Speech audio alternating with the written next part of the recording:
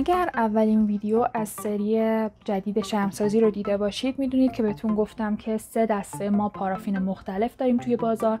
پارافین های شیمیایی، گیاهی و حیوانی. امروز می‌خوایم راجع به پارافین های گیاهی صحبت بکنیم.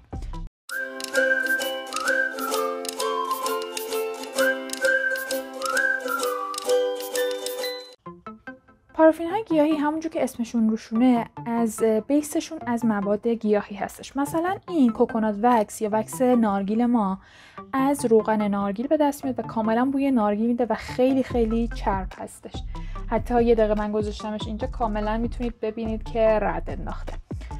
پارافین بعدی که داریم پارافین گیاهی پارافین سویا یا سوی وکس هستش که بیسش از روغن بذر سویا هست و در آخر پارافین نخل یا وکس نخل که من دقیقا نتونستم پیدا بکنم که از چی ساخته شده ولی خب جزء دسته پارافین های گیاهی قرار می‌گیره.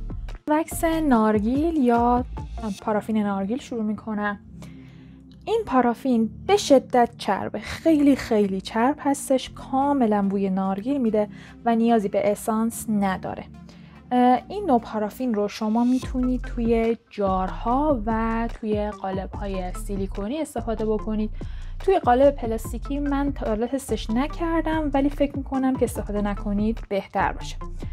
پارافین بعدیمون سوی وکس هستش که سوی وکس رو همونجور که توی اولین ویدیو بهتون گفتم باید بدونید که حتما اصل هستش که میخریدش سوی وکس اصل به این صورت هستش حتما. اگر که شکلی به جز این مدل های تیکه تیکه داشته باشه و به صورت پودری باشه بدونید که پارافین هم پارافین یک درصدی که توی ویدیوهای قبلی دیدیم اون رو برمیدارن چرخش می‌کنن حالت پودری می‌گیره و به عنوان سویوکس به شما میفروشن. لازم ذکر که سویوکس اصل یه رنگ تهرنگ کرم مانندی داره که این تهرنگ کرم مانندش در مقابله مقایسش کنید. این تهرنگ کرم مانندش توی اون سویوکس هایی که مثلا بهتون میفروشن اون سویوکس وجود نداره. یه بوی خاصی داره. نمی‌دونم دقیقا چجوری توصیفش کنم. خیلی شبیه بوی این صابون های قدیمی هست صابون های محلی. خیلی بو شبیه همچون بویی هست. دقیقا نمی‌دونم چجوری توصیفش بکنم. و از سویوکس می‌تونید شما توی انواع قالب ها توی جارها و همه چیز استفاده بکنید. و انعطافش هم به نسبت بد نیست. ولی خب سوی وکس خیلی گزینه گرونی هستش. اگه اصلش رو شما بخواید تهیه بکنید به نسبت wax های دیگه و من شخصا پیشنهاد نمیدم برای به عنوان یک تازه کار ازش استفاده بکنید.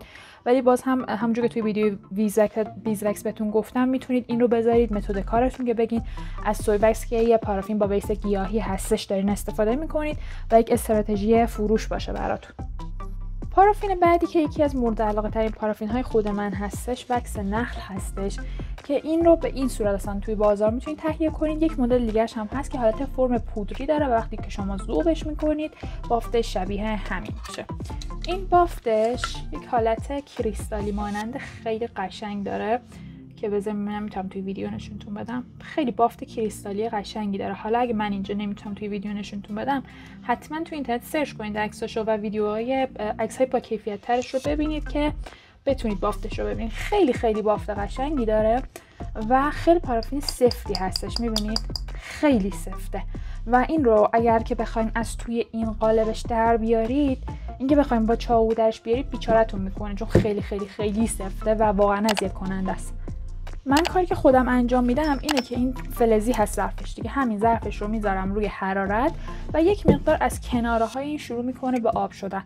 اون حجمی که می‌خوام وقتی آب شد میریزمش توی ظرف دیگه. اگه خواستم رنگ آمیزیش می‌کنم حرارت بیشتری که لازم داشت بهش میدم و ما بقیش رو هم از روی حرارت برمیدارم دیگه. چون واقعا نمیشه از روی بخوایم برش دارین خیلی کار سختیه. شدنی هست که چاقوتون رو داغ کنید و واردش کنید ولی خیلی خیلی کار سختی هستش. پس من بهتون پیشنهاد میدم که از این روش استفاده کنید. این نوع پارافین که خیلی ظاهر قشنگی هم داره اصلا مناسب قالب های پلاستیکی و یا فلزی به هیچ عنوان نیست. توی جارها کاملا می‌تونید ازش استفاده کنید به نظر مناسب ترین جایی که می‌تونید ازش استفاده کنید توی همین جارها هستش. البته که توی قالب سیلیکونی هم می‌تونید ازش استفاده کنید ولی خیلی مواظب باشین حین کار کردن باهاش چون که امکان داره که به واسطه اون سفتی که داره اگه مواظب نباشین قالبتون رو پاره کنید حین در آوردنش. ولی اگه مواظب باشید تا قلقش دستتون اومده باشه می‌تونید از این هم توی قالب های سیلیکونی استفاده بکنید. حالا اگر تازه کار هستید دقت کنید به این نکته که این پارافین های گیاهی همشون به نسبت پارافین های یک درصد شیمیایی و کلا پارافین های شیمیایی گرون قیمت تر هستن.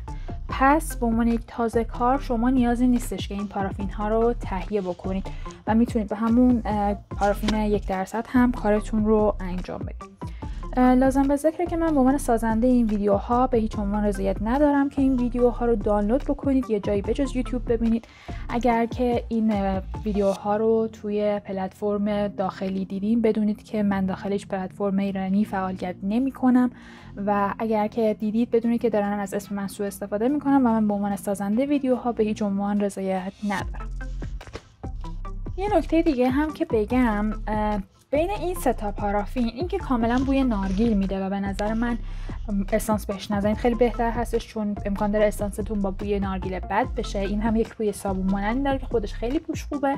تنها نوعی از پارافین گیاهی که به نظر من شما می‌تونید بهش اسانس اضافه کنید سویوکس هستش که کاملا قابلیت اینکه شما بهش اسانس اضافه کنید و شمع معطری بسازید رو داره.